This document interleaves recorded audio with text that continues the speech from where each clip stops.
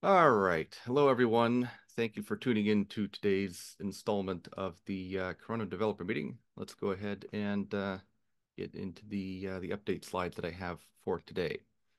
All right. So, real quick uh, announcements and then uh, status updates. Um, the next development meeting is currently TBD because August 7th, which was the original date I had in mind, um, is uh, is SIGCOMM. So I'm going to be attending that in um, in Sydney. So I'm thinking we'll probably have to bump the meeting. I'm not sure if if we'll go, you know, if we'll do it in you know late July or later in August. Not sure, but I will post to the uh, to the list and let you guys know um, what the plan is going to be for that. Um, the next Switch meeting will be in a week on July 10th. Hopefully, Carlos will have some interesting stuff to talk about. So if you're interested in that, feel free to tune in.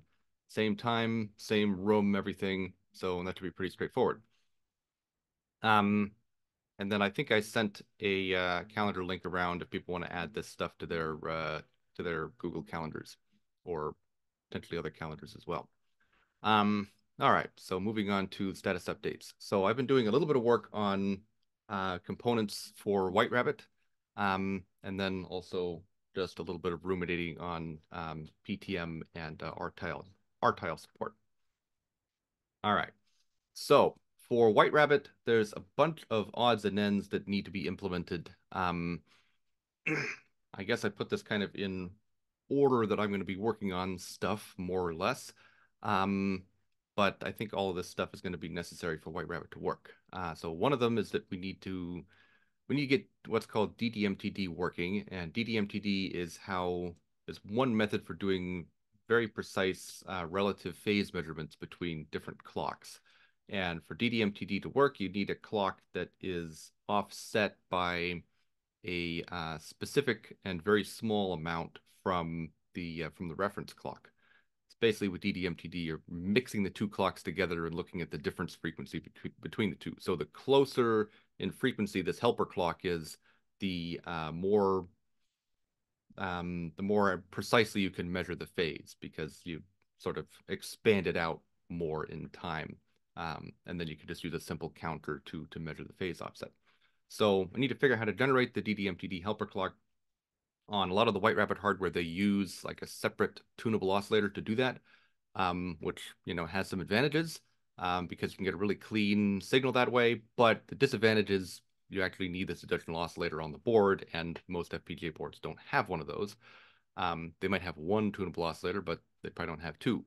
Um, so I need to figure out how to generate that inside the FPGA, potentially using FPGA primitives. And uh, I've just implemented something using the, uh, the, MMCMs that I'll talk about in a minute um, to, to do that. Once I have the helper clock, then I can implement DDMTD itself, which you can use to measure the relative um, phases between two different clocks. Now, ostensibly, it should be possible to do this between clocks that are running at different frequencies with a defined relationship. Um, but it's unclear exactly how that measurement works in terms of, you know, if you get, um, because the edges don't necessarily align, right? They'll align every, you know, n clock cycles potentially if there's a defined relationship. Um, but outside of that, how do you define the phase? Not sure. So I got to do some ruminating on that because that's something we'll have to deal with um, if uh, we're running at different different um, different frequencies, right? If you have a, a link at 10G and a link at 1G, well, one of them is going to have a, a frequency of, uh, you know, 125 megahertz. The other one's going to have a frequency of, you know, 156 or 161. So how do you relate those two together if you want to transfer, you know, the timing from one link to another? It's, um, it's a little bit unclear at the moment. Um, another thing that I need to take a look at is, um, you know, is it possible to run, you know, 1000 base X on a transceiver configured for 10G? Because a lot of White Rabbit stuff is at 1G. So uh, if we can make that work on existing boards without having to um, give up the capability of, you know, running at 1 gig and 10 gig um, on the same quad, that would be useful. Um, and there's some boards that have other restrictions that that cause problems here. So it's uh, it's useful to to set things up you know, in this way such that we don't need to actually reconfigure the transceiver for 10 gig, but just, you know, handle it in the logic.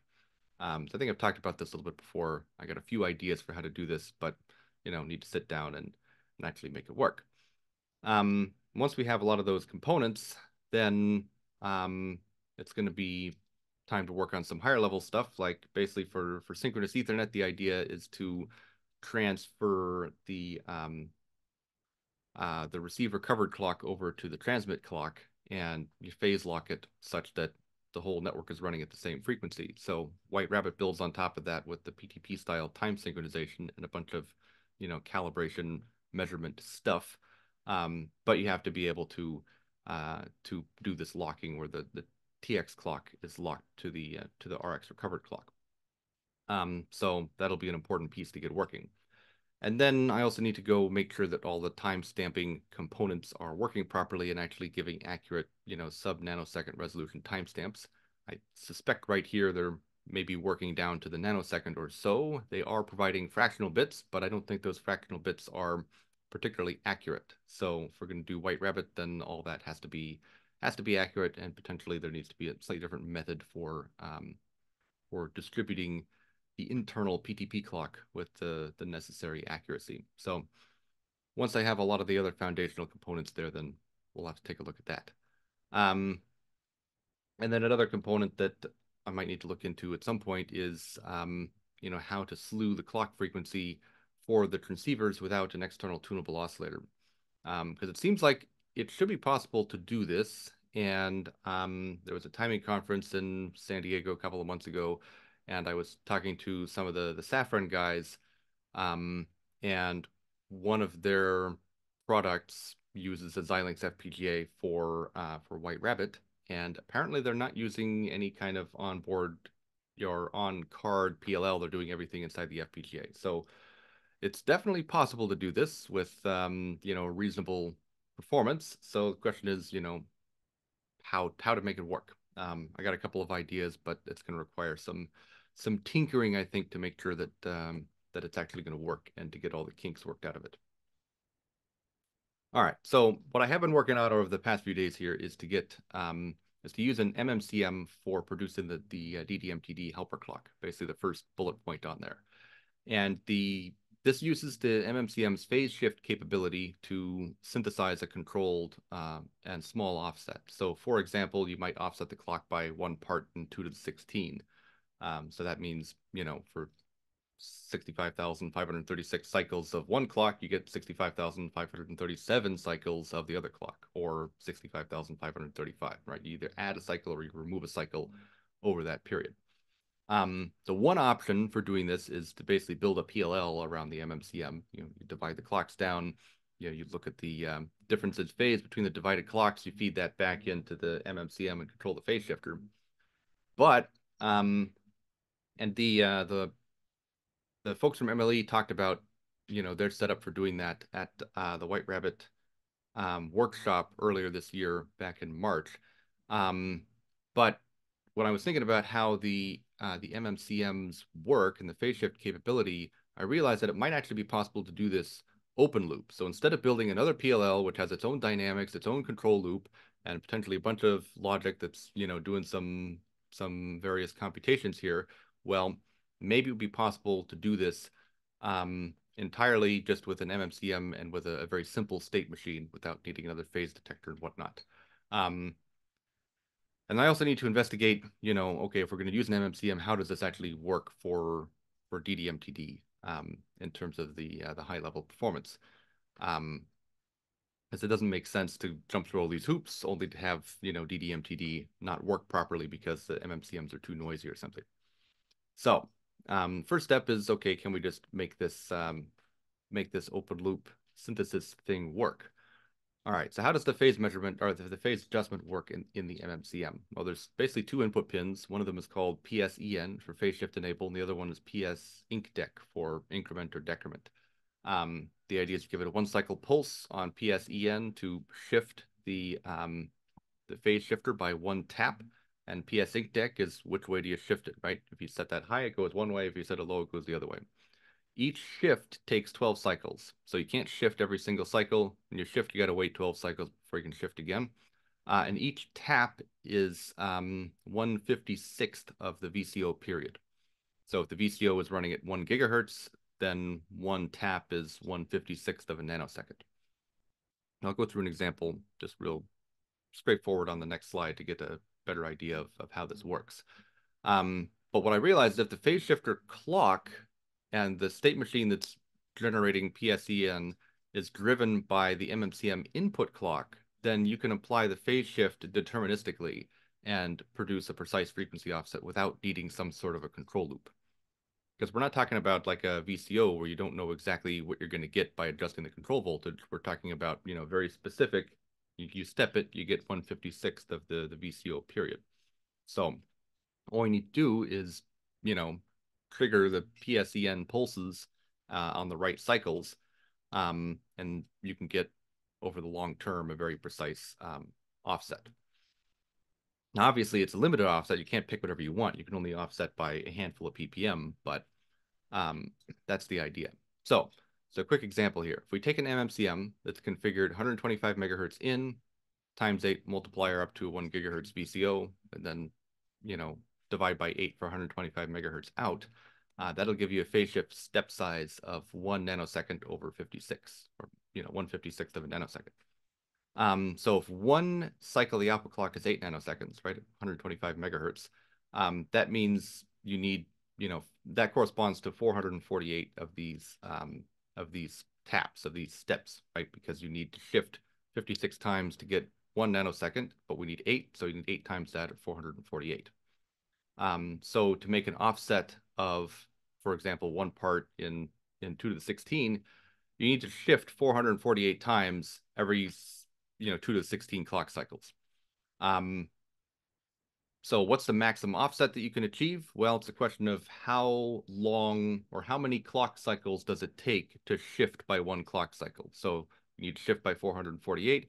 You can only shift every 12. So, you know, one over, you know, one clock cycle over 448 times 12 clock cycles, that gives you about 186 ppm. So you get a tuning range of about 186 ppm with this with this configuration. So you can, well, I guess it'd be double that, right? You either do plus that or minus that. So I have here just a very simple Verilog code that I wrote that um, that can generate the um, the PSEN pulses um, to satisfy just any you know rational fraction you can come up with. So in this case, you specify the numerator and the denominator. So the numerator would be 448. The denominator would be 65,536. Um, on every cycle, you um, you add the numerator. If it exceeds the denominator value, then you subtract off the denominator and you set you know PSEN to one. And this keeps the the remainder in the count register such that over the long term you'll get um, an accurate fraction out of this thing. Um, so I went ahead and I built um, a module which you can specify the numerator and the denominator in uh, parameters and loaded two copies of this on an FPGA board, one shifting up and the other shifting down um, by, you know, one part in 2 to the 16. And um, basically, it seems to do exactly what it's supposed to do. This is one of these things that once I got Vivado to build the darn thing, because it kept complaining about how I was connecting up the, the clocks internally and whatnot, I had to set some dedicated route constraints to make it work. Um, but yeah, the first time I actually decided to run on the FPGA, or the first time Vivado actually built the bit file, I loaded it on and it ran and uh, seemed to work uh, perfectly. So um, I have a VCU118. I've got a couple of cards on here that let me access um, some of the clock output connections on the uh, on the FMCs, so I can take that and route it over to a, uh, an external piece of test equipment. And one part in 2 to the 16 is about we have 1,907 hertz, and well, that's exactly what we see on the frequency counter here. These are in you know offset mode, so it's it's actually measuring you know 125 point something uh, megahertz, and then subtracting. Um, but the upshift and the downshift do seem to be producing the correct output frequency. But then the question is, even if it's producing the right frequency, the question is, you know, how clean is that? Um, this is an area that I'm a little bit less familiar with. I did take this and whack it into my spectrum analyzer to see what's going on. And I noticed something kind of interesting. Um, I was expecting to see similar performance between shifting up and shifting down, but it seems like there is something going on. I don't know if I have, you know, some bad assumption about, you know, how to generate the PSEN pulse and I'm doing something wrong, or if there this is just something inherent to how the the MMCMs work. But um, shifting down seems to produce a, a spur, and shifting up it doesn't. So um, I've got three screenshots here from my uh, from my spectrum analyzer. The center is at 125 megahertz. So if we shift down, um, that peak ends up exactly where we expect it to be. But then we have another peak over here um, at the uh, at the upshift location. But this is like 40 dB down, and everything down here is about 60 dB. So yeah, this is a bit of a head scratcher. But then if you switch it to shifting up, right, this peak appears at the same point, right, 125.00183, right? So it's the same same exact spot as where the spur is, but we don't get the spur at the lower frequency. So I'm not entirely sure what's going on with this thing, but I guess the the simple thing we can do is just make sure we always shift uh, up in frequency uh, for the helper clock, and then that, that should work. Um, but I guess the question is, you know, are all of these other little peaks down here going to be causing any problems? Or is there anything else going on? I'm not sure. So I'm going to have to I'm going to look at a couple different things. One of them is to potentially try following up with a uh, another MMCM or PLL, which might clean things up a little bit. Um, another possibility, well, not, the, the ultimate test is just to test with DDMTD and see what the DDMTD performance looks like. Because um, if DDMTD works, despite some spikes, then I guess we're okay. If it doesn't work, then, you know, maybe uh, another approach is required. But uh, so far, this looks this looks pretty promising. Um, so yeah, moving on to uh, PTM and other stuff. I haven't done much on these fronts, but uh, I'll go over this just at a high level pretty quick here. So um, if you're going to be doing White Rabbit in, you know, on a NIC, it also makes sense to be able to precisely synchronize the time uh, to the host as well. So PTP and White Rabbit, whatnot, they work nicely on the network side, but you run into, you know, on on the PCIe side, unless you want to operate in you know sort of NTP land where you don't have any hardware timestamps and you're subject to queuing delays and whatnot, um, you potentially need a little bit of help from the hardware. Um, so PTM is basically PTP for PCIe, and if you can implement PTM, then you can perform, you can transfer time to and from the host uh, much more accurately than you can just using you know normal MMIO operations like um, you know what most NICs do right now and what Corundum does right now. Um, but the trick is for PTM, you actually need hardware that supports PTM, and uh, that's a little bit more complicated. Um, so for Xilinx cores, that's going to be a long-term thing to make it work. Uh, for Intel cores, aside from the R-Tile, it's probably not going to be possible to support PTM. Um, but I have a uh, an Agilex iSeries dev kit which has an R-Tile that natively supports PTM. And uh, the folks at the Open Compute Project provided a motherboard that uh, supports PTM as well. So um, once I have the uh, the cycles to sit down and hammer out the, the details, it should be possible to um, to bring this thing up and get Corundum running on it, and then we'll have at least a data point with PTM working. Now, can we run, run White Rabbit on this particular board? I don't know. Um, can we run PTP on this particular board? I also don't know because it uses the F tile, which um, um, I'm not sure how PTP works on those things exactly right now. So uh, we'll we'll take it one at a time. But uh, that's the only board that I have at the moment that supports PTM. So we'll start with that. Um, so yeah, the short term is to port, you know, to the R-Tile and integrate the R-Tile native PTM support into Corundum. And then the long term is to look at um, PTM support on other devices, in particular Xilinx devices. But um, this is potentially going to be a pretty non-trivial project to make it work. But, you know, we'll see. Um, for getting things running on the R-Tile, the R-Tile is similar to the P-Tile, and I was just taking a look at the uh, documentation recently. Um, for the data side, we should be able to pretty much work out of the box because the code that I wrote previously is pretty well um, uh, pretty well parameterized, and I think it will support four segments. Um, the, the, the R-Tile can run with a couple different configurations. It can run with two segments as well, depending on the uh, the bus configuration. Um, but the flow control is different. So I need to sit down and figure out, you know, how to do the TX and RX flow control properly. Um, because the way those credits get handed over um, has been totally reorganized. And there's a, a, more complex process for doing the flow control initialization.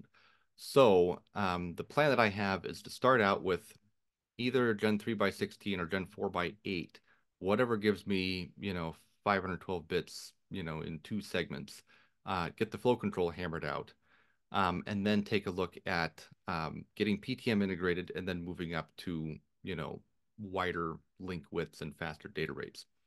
And the interesting thing about the RTILE, I mentioned this before probably, is that you can actually do uh, Gen 4 by 16 as 1024 bits at 250 megahertz, which I think is going to be a lot more doable from a timing standpoint than trying to run at uh, at Gen 5 or even Gen 4 by 16 on a P tile, which which also runs at like 450 megahertz or something, which is a bit of a tall order on an FPGA. Um, all right, so that about rounds it out there. Right, and then I got the uh, the development setup from uh, the folks at Meta. They provided uh, a uh, CPU and a motherboard, and um, Intel previously provided a board. So uh, I might be, assuming I get this working, so I'm going to be working on this over the next couple of months, and hopefully we'll be able to demo something at the, the OCP Summit and potentially uh, ISPCS as well. So not sure if anybody's planning on attending those, but um, I, might, I might see you there depending. Um, let's see. I guess I, I talked about the the White Rabbit NIC last time, but there hasn't been any. We don't we don't have the uh, the initial prototype back from the fab yet, so there's nothing to add to that uh, at the moment. So I think that about rounds it out for status updates for today. If anyone has any questions or comments, go ahead and fire away. Or, you know, anything you want to discuss.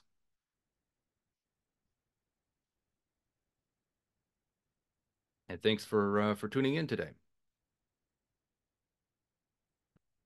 But Hopefully I, I think you're doing an excellent job with the White Rabbit part. I mean, it looks very interesting. I, I will yeah, have still, to still review the video again do, but to uh, you know, everything. Just... But that seems like very, very nice. I mean, yeah, I mean, still got a lot of work to do, but uh, it's it's always nice when you you put something on the board and it actually works. You know, even if it's something yeah, yeah, relatively I mean, those, simple. So. I mean, just being able to see it on the measurement equipment and so on is quite promising. Right. I mean, you know, as they say, the the proof is in the pudding, right? You got to put the whole thing together before you know if it's going to work right. So, um, yep we have one one little piece working. Now we got to put together some other stuff. So hmm. yeah, hopefully hopefully we'll have more to talk about at the the next meeting in terms of uh, bits and pieces for for White Rabbit.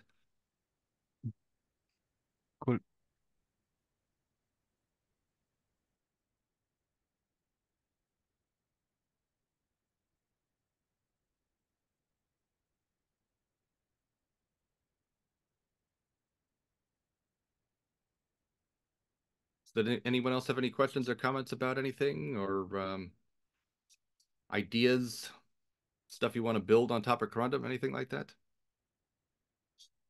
And well, maybe I can comment on things related with the Switch. Uh, okay. Yes, well, as some of you know that we are now like trying to evaluate uh, the Switch performance. So um, for that we are exploring some main tools. Uh, don't know if software, hardware, to see how we can actually test the switch and see how it performs, it, it doesn't break or yeah. Uh, take some KPIs related with the switch. So in that sense, I don't know if any of you are aware of any tools because we are trying to explore tools like T-Rex, or we are also looking into see if we can build maybe our own packet generator on HDL.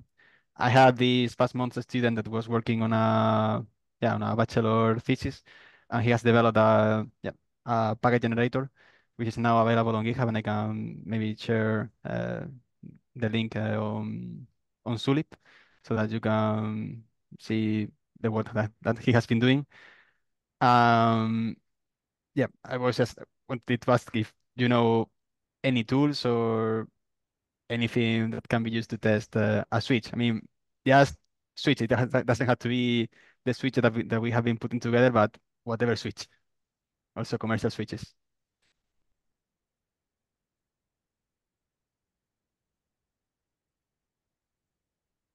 Yeah, because I guess we have looked at a couple of different um, possible solutions, and T-Rex I thought was going to be a pretty promising one, but Carlos has been running into some issues with T-Rex in terms of generating a very large number of flows.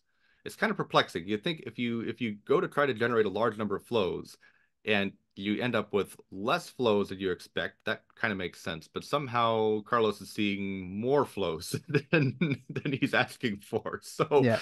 um I, I need to check some of this stuff, uh, having some TCP dump or something to see the actual frames that have been sent. But I, uh, one college of my university that is has been also working with T-Rex has also told me another alternative to to generate the flows in this stateless uh, mode of T-Rex.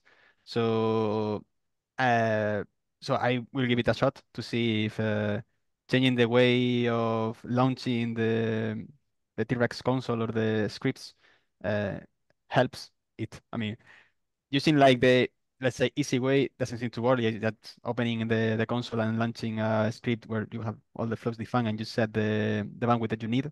Doesn't seem to be like working. Maybe it's just a switch uh, problem or something. We need to check with the, some uh, uh, traffic captures. But yeah, maybe doing it like uh, using the other way, using one like API that has T-Rex, maybe it helps. I don't know. So at least we have another you thing to, to try. uh, are you using uh the PCAP file? Are you replaying the PCAP file, or are you And you we are not we are not using uh, captures. We are just uh, we have a we define using like this scapy library in Python the flows. I mean, I mean, I have found like two different ways of defining different. I mean, we want to change, for example, information about the header of the frame. For example, let's say the source MAC uh, Mhm. the source MAC address, and for that I have found like two ways of doing that. You can, for example, define I don't know hundreds of uh, flows, each one with its own source MAC address, or you can uh, define one single flow, but you can like right? uh, change in real time, frame by frame, in a frame by frame basis, change the source MAC address by, for example, incrementing it uh, by one or random ra in a, in a in a random way. Or the other thing I thought is, okay, maybe we can mix both approaches and have, for example, 100 flows that changes uh, the MAC address over a range of 100 values so that you can generate like 10,000 different flows uh, of different type of So frames. But and so when reaching 5K, it saturates. It's, it's just that you So you get an unexpected behavior of T-Rex. yeah. So so the only so the, I found an interesting paper who who has worked on this. Uh, it's called MoonGen. So what they did is they extended packet gen, and they did exactly what you're saying. They they made it like on a packet level you can change you can modify stuff which packet gen doesn't allow right Okay, can can you so write but it, it's the name on the chat, please? Also to yeah yeah yeah yeah, I, I heard about but this I one myself. I just completely forgot about it. Yeah, MoonGen, okay. but it's Just like it's moon, I like, you don't think know, Yeah. son of the moon. yeah yeah No, yeah uh, okay. but it's not uh, updated so I was thinking to use it but uh Nah, yeah, two years ago. Yeah, okay. yeah yeah Um, exactly so I don't think it will follow Yeah. Oh wait, the, Okay, the okay. so it was uh created 10 years ago, but the last pull request was merged two years ago. Interesting. Yeah, that's been around for a little while. Okay, yeah. I'll give it a try, yeah. Thank you, Krishna. Go ahead and pop that in the uh, references. There we go. Boink MoonGen. All right. Post that on on Zulip for future reference. um, yeah, but yeah, yeah that's that's definitely uh worth trying. Yeah. Yeah I was I was also thinking on the same lines actually uh But that's the thing, right? So you will be trading performance if you are going to do some modifications on the packet level because you're kind of incurring some additional latency on the packet Yeah, I mean, level. I guess it, it depends on on your point of view, right? Like you could certainly write out a PCAP file and play it back, but Yes. you know, how much space do you have for a massive PCAP file and how quickly can you play it back, right? There's going to be a trade-off somewhere where it might actually be faster to generate the data on the fly than to try to play back a PCAP file. Where that trade-off Right. is, I don't know, but um, you know, especially if you're talking about, you know, hundreds of gigabits per second. if you're going to make a big Right. PCAP file, where are you going to store it? And once you reach Yeah. the end of the PCAP file, what are you going to do? Are you going to loop it? Um, you know, if you generate your traffic dynamically, then you can just keep going and going and going. Um, you don't need to worry about, you know, loops. Um, yeah, the other thing I was telling Carlos is that, you know, we might even need to use multiple different techniques for testing some of this stuff, right? Some things maybe it makes sense to do something like, um, you know, T-Rex and run at line rate. Other things, maybe we don't really need to run at line rate. We can run slower. Um, Right. and use a, a different technique, right? Because, you know, taking the limit in the other direction, you could just use Scapy and generate the packets directly from Python however you want. It would be dirt slow, but you know, you know exactly what you're getting. So, um, you know, somewhere along that continuum is probably the Yeah. uh, the correct solution, but uh, we haven't found it yet. Yeah, yeah. So, so, so yeah, go, go, ahead, go, ahead, go. No, no, maybe I am also misusing T-Rex. I mean, I'm kind of new using it, so I, it's been only like a few days working with it. So maybe I am also misunderstanding something, or yeah, I also have to play around a little bit Yeah, u- user error is entirely possible. I mean, I'm not familiar with it either, so this is uh Mhm. learning experience for everybody.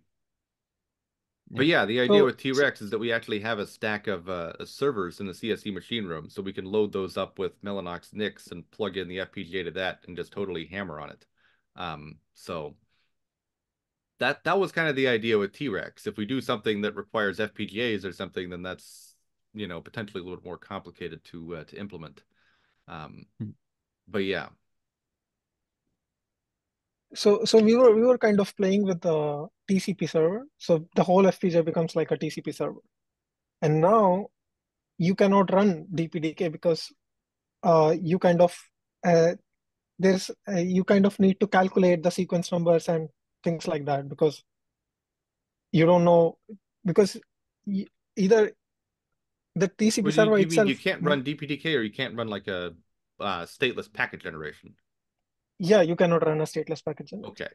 Because I know I know people make TCP stacks in DPDK. Yes.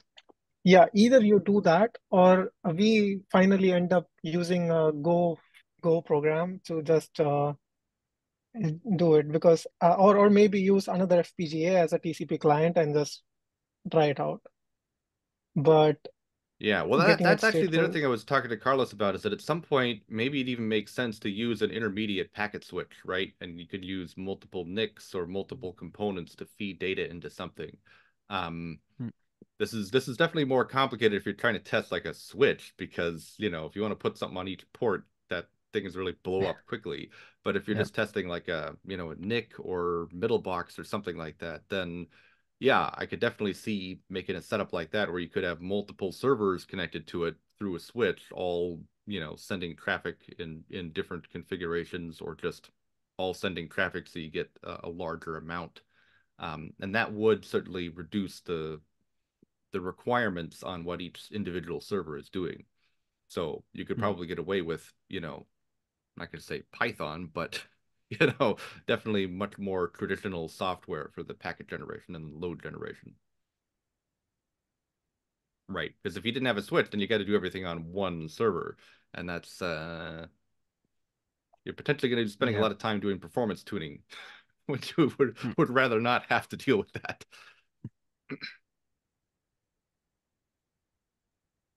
uh, Alex, by the way, uh, can you can you check this link? Uh, this is the stuff I was talking about. Uh, Yeah, I'll take a quick peek here.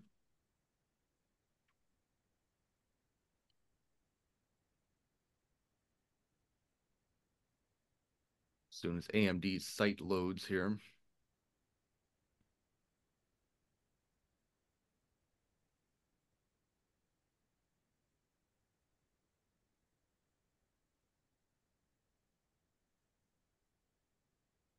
Oh, okay. So this seems like it's only going to apply to certain dev boards. It says the failure Yeah. is seen using the JTAG only configuration mode. But I think on most boards, either the mode pins are not going to be accessible um, and they're going to be hardwired to QSPI or something. Um, or it's going to be like a dev board, like a VCU118. So I think on a U280, I presumably that's just hardwired for QSPI. I don't even think they have a dip switch for that. But on the VCU118, they probably do, or jumpers or something. I don't know. Okay. That would probably simplify things. I... The other thing I will say um, is that if you connect to the hardware manager from Vivado, um, right. They actually show under the the properties under registers, you can see the states of the mode pins. It's a super okay. useful debugging technique. So you can look in there and go, okay, it's set for QSPI. Oh, it's set for BPI. Oh, it's set for JTAG. Um, you know, independent of naturally looking at the physical board. So I've definitely done that a couple times to to help figure out, you know, reverse engineering a board. How is this thing loading? Oh, it's BPI right. or whatever. Um, so yeah, you can check that because th this seems to only apply to uh, to JTAG only. So if it's set for um, um, if it's set for QSPI, then you should be fine. Presumably, assuming I'm reading this correctly.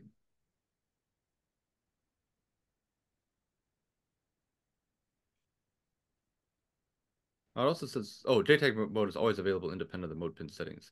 Yeah, that, that was one thing I was kind of scratching my head over is why do they even have a JTAG configuration mode that you can select? Because you can always use the JTAG to reset the thing and load a configuration. You don't need to change the mode pin settings uh, to go into JTAG. The, the only, yeah. so I, I, I have run into a couple of issues with this. I mean, it, so, so I guess the main thing is that you can put it in a JTAG mode so it never loads the flash um, which is a potentially useful debugging thing. But you could do that by okay. you know disconnecting the flash or something as well. You don't necessarily have to change the mode pins. I have run into issues, I think, with um, with Zynq devices and weird behavior between um, setting it for JTAG mode and setting it for like a, uh, booting from the SD card. Like if you don't set it to boot from the SD card, obviously it doesn't boot from the SD card. But if you set it to boot from the SD card and then you load it via JTAG, sometimes it doesn't work in weird ways. So um, I think I, I got tripped up by that a while ago trying to test Corundum on a probably the ZCU106 or something in PCIe mode and it wasn't working. I'm like, what the heck is going on here? Finally, I I tried changing the, the the dip switches to change the the boot mode to you know, so it wouldn't try to boot from the SD card. Then it worked. Like, why does it make any difference? But uh, but that's also a Zynq device. That's not a um, that's not a normal FPGA. So those things have a completely different boot process. Have you ever bricked an FPGA board? Um, I've definitely messed up the flashing a few times with uh, with Corundum. Um, but you know, never bricked it because, you know, okay, fine, we just plug in a JTAG cable and fix the problem. it's not that big of a deal. Um, yeah, I, at one point I messed up something in the um, basically the the configuration registers that are used to access some of the internal um, registers, and I messed up something in that access code, and it was causing can't remember if it was a readback issue or yeah, it, it might have just actually been causing issues with the with the readback. Uh, so every time I would try to run the uh, the firmware update, it would fail to uh, to flash the thing correctly. Um, and I can't remember if that actually resulted in a bricked board that I then had to go fix via JTAG, but you know, um, yeah, yeah, I've I've had to deal with that a couple of times. Um, Oh, oh, here here's a fun one. Here's a fun one. I figured out how you can get the how you can hang the configuration logic. I think I think I figured out at least two different ways of how you can hang the configuration logic on the FPGA by configuring okay. things wrong in the bitstream. Um, one of them is that if you tell it to use the uh, external um, external memory interface clock and there isn't one, then it'll hang because it'll switch to it and then it's not running. so uh, mm-hmm. so that doesn't work. Yeah. The other thing yeah. is that if you tell it to use uh, the the the the next boot address of the current bitstream, yeah, right. that'll hang. So so Um, the so the fir- So The I, I've, I've, I've, I've made both of those mistakes, and it's easy to to to repair that. You just go in with uh Yeah. with Vivado and reflash the thing over JTAG. so yeah, I've definitely screwed up the flash contents, but bricking is in you got to throw out the board. You know, I, I haven't done that yet. Yet. so the so the first the first case happened to me as well. Uh, I changed uh, microcontroller's mode to an external oscillator, fuse bits, and now it couldn't find the uh, clock, and so I had to jump a wire to temporarily provide a clock and then change the fuse bits.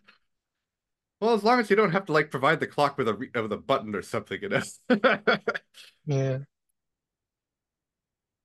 Yeah, I uh whenever you're dealing with things like fuse bits or e-fuses, that's when you need to be careful. Like with the Xilinx devices, I've never touched the e-fuse because if I mess that up, that's gonna be bad. Yeah, because and you can put encryption keys and stuff like that in the e-fuse. Um, but yeah, I've never had a need to do that. Never bothered touching that. Um,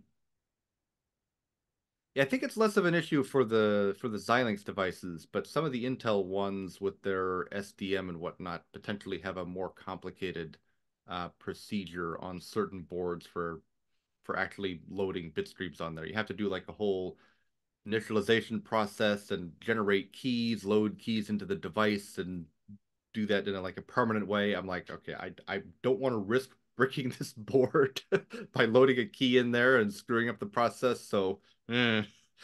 yeah, it would be nice if you could just disable those security features and just use a darn FPGA. But uh, I think I I think I have one board that was like that. Fortunately, I didn't buy it. Somebody sent it to me, so that one is just going to collect dust until we figure out how to um till I have time to uh to attack it again and see if there's a, uh, a solution for that. So what are the Intel PAC cards? Yeah, got to be careful with some of those things. Just in terms of if, if you're going to acquire one, it might not be usable.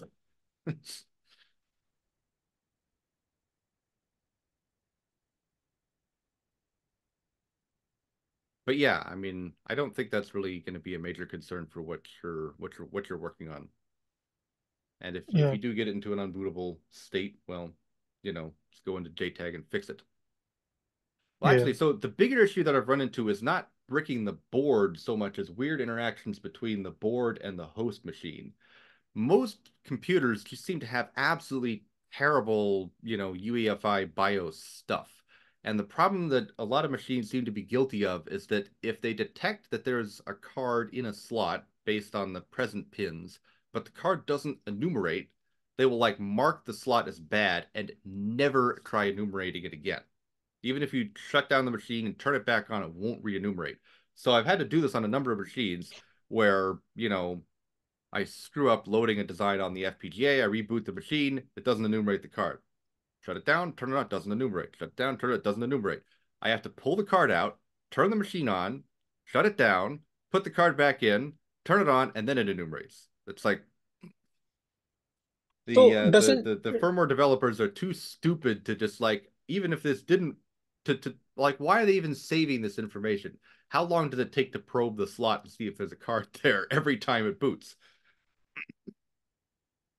So the PCI hard logic manages that, right? No, it doesn't. Like it manages that you kind of maintain that uh timing constraint. No, this is a problem in the system firmware.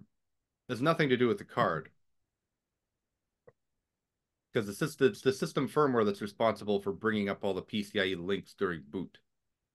And it basically it gets into a state where it doesn't even attempt to bring up a link for some reason. I don't know why, but it just doesn't even attempt to do it. And you have to kind of kickstart it into doing a more comprehensive bring up procedure by removing the card, booting it with the slot empty, and then putting the card back in and booting it again, and then it'll work. It's like, and multiple machines have this problem, so it's not, um, it's not in, you know, one. It's not like oh, it's only Dell machines. Just like several manufacturers.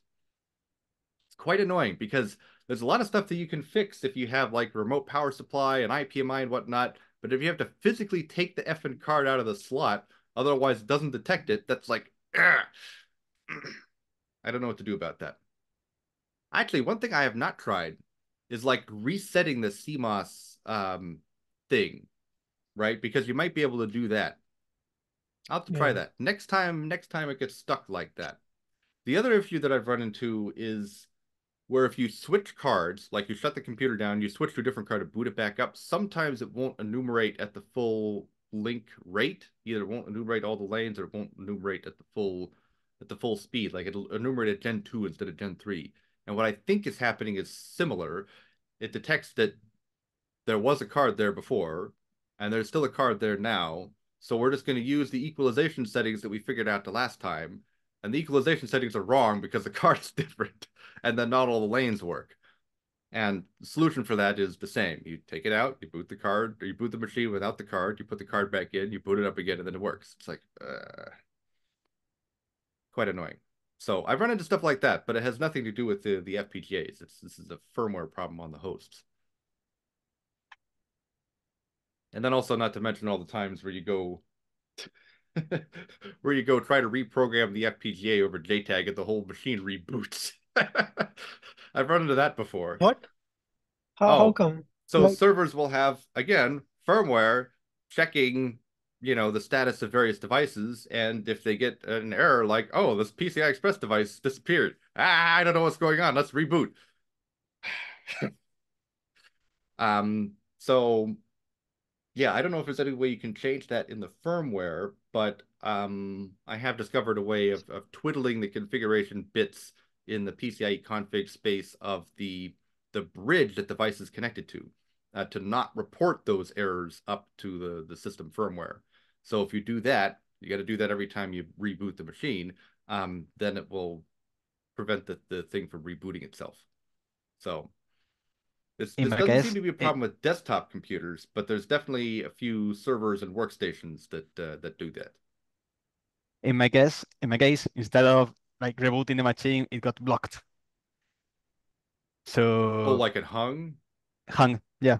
Yeah, okay. So uh, I had to run, for example, your uh, SH uh, script that you have uh, in the Verilog PCI repository hmm before programming Oh, it the, the disable not, fatal error thing? Yeah. Yeah. Yeah, Yeah, it's, it's going to be dependent on the on the machine. Like this, so this is one thing I really like about those 7920s. They don't do that. that that other workstation machine that I brought over, that Lenovo thing, the P920 or whatever, it does that. if you reprogram the FPGA, it reboots. I actually can't remember my if it case was reboots but it, like it flashes some angry error message on the front. It's like, ah, yeah, it's quite annoying. But yeah, that that script works on that too to to prevent that. And the um the firmware update tool for Corundum, um, it has code in there that also pokes those registers. So if you use the MQNIC FW to reboot the card, it will clear those bits during the process to hopefully not reboot the uh, the machine. but it doesn't help you if you're doing like an initial load over JTAG, right? If you get an Alveo card, you stick it in a computer, you can't use MQNIC FW because it's an Alveo card running the Alveo's um, you know, bit stream. You plug in the JTAG, pull up the Vivado, connect to the card, everything looks good, hit program, server reboots. Oh. Exactly.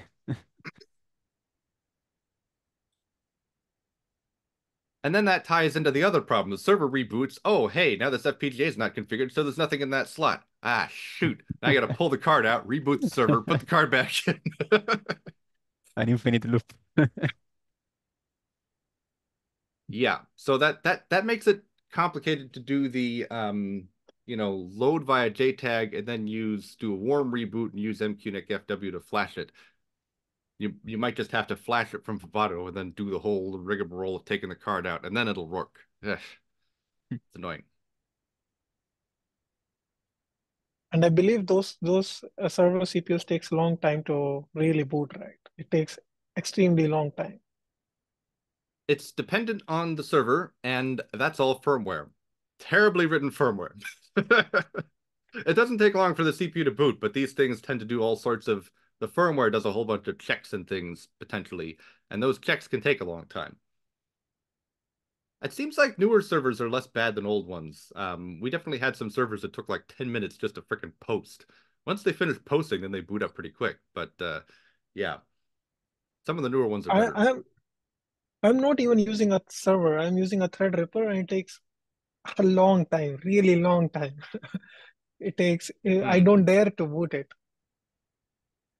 Yeah, that's that's kind of annoying.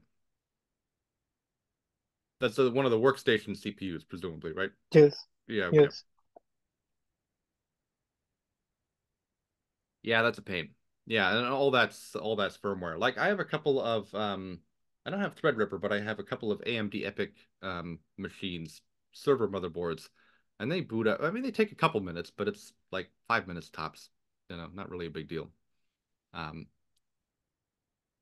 but yeah, you know, we've we've definitely historically had some servers that take like 10 or 15 minutes or something to boot up. It's a real pain. Yeah, actually, so we had one set of servers that um, we moved from, you know, one building to another. Um, and, you know, basically to get some more life out of them for a slightly different project.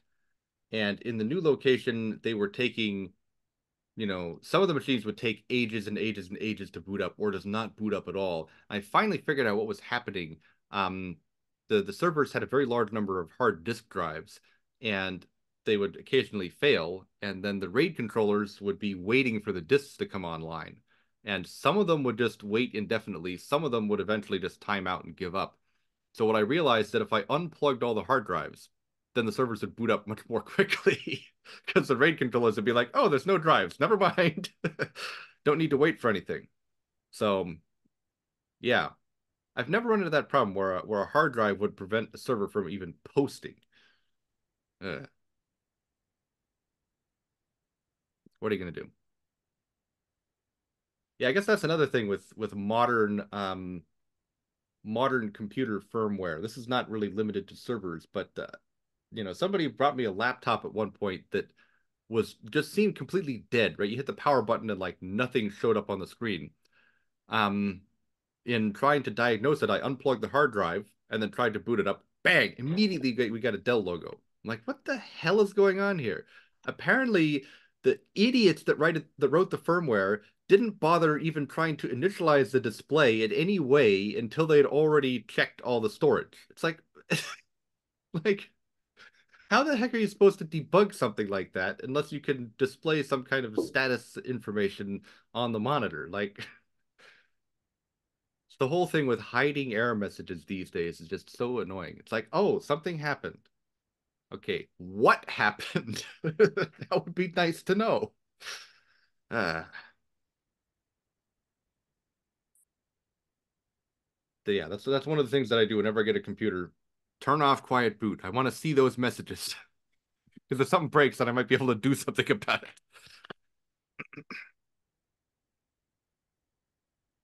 anyway, enough of an aside. None of this has anything to do with FPGAs. this is just a crappy server firmware. Speaking of crappy firmware, I just saw a couple days ago a uh, somebody found a security vulnerability in UEFI buffer overflow that basically means Oh you yeah, can run code and ring minus two on like a whole bunch of different computers. and since it's UEFI, you can't very easily update that, right? You got to update the system BIOS or something with the new version. Uh, and some of those, and if you have a machine that's out of support and the manufacturer's not releasing firmware updates, what do you do? Not great. Not great.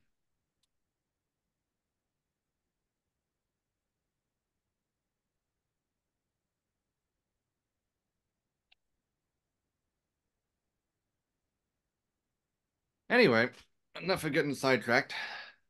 I'm not sure if anybody else has any questions or comments. Feel free to pipe up if uh, if anyone has anything you want to discuss.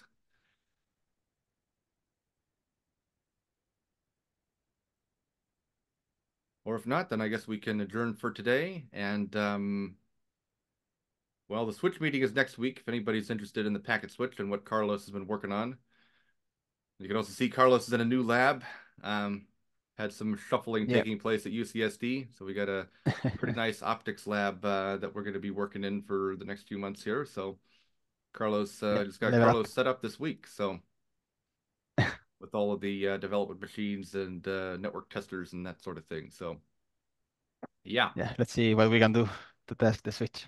yeah, it should be good. Should be good. Um, yeah, so the Switch Switch meeting is next week, and then the next Chrono developer meeting that's that's going to be TBD. I got to figure out what, my plans are for SIGCOMM, and then it's it's probably going to be either one week before or one week after. Which one I don't know. we'll see. I guess let me see here. This is uh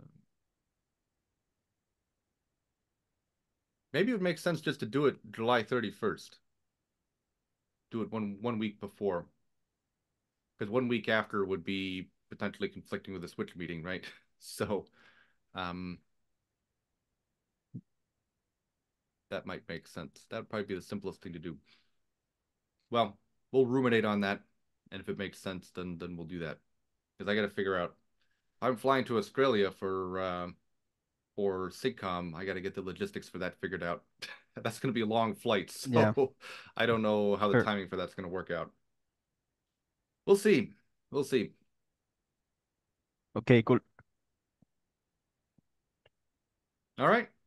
Well, I guess we'll adjourn for today, and uh, we'll talk to you guys later. Okay, Thanks for thank you in. very much. Thank you all. Thanks. See you. Yeah.